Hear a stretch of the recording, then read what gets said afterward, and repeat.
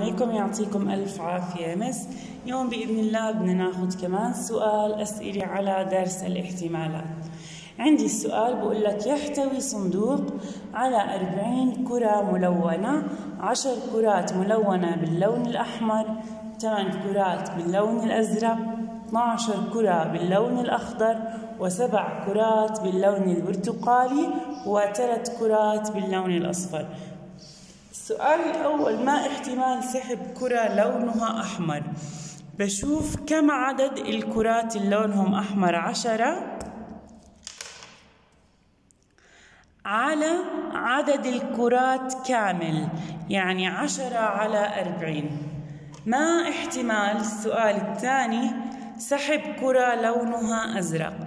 الكرات اللي لونهم أزرق ثمانية.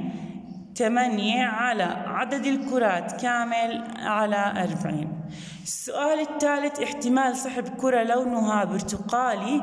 زي ما إحنا شايفين إنه البرتقالي سبعة على أربعين. ما احتمال سحب كرة لونها أصفر؟ الأصفر عندي ثلاث إذا ثلاث على أربعين. احتمال سحب كرة لونها أخضر لون الأخضر 12 اللي هو 12 على 40 إذا احتمالات هي عدد الكرات المراد سحبها على عدد الكرات الكامل. يعطيكم ألف عافية.